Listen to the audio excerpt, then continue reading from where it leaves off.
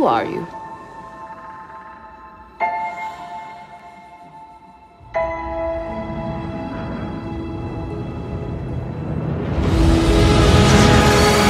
There are stories about what happened.